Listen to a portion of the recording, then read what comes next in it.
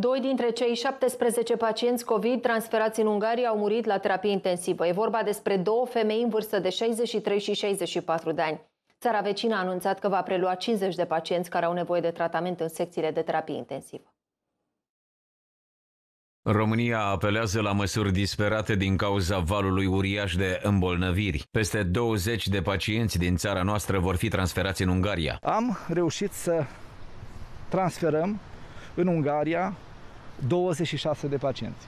17 la ATI și 9 într-o formă nu atât de gravă, având nevoie doar de oxigen. Situația celor 17 pacienți de la ATI este critică. Ministrul Lucian Bode a confirmat moartea unui pacient. Ulterior, autoritățile au anunțat decesul unei alte femei transferate în țara vecină. Situația celor 17 este una extrem, extrem de critică.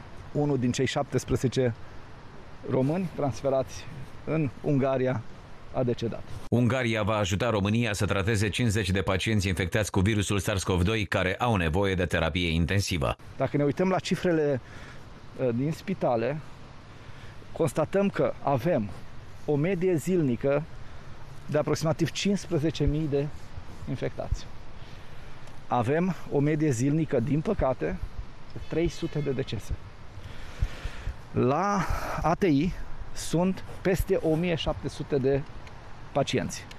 Iar în UPU avem peste 1900 de pacienți, dintre care 300, aproximativ 300, așteaptă în UPU eliberarea unui pat în ATI.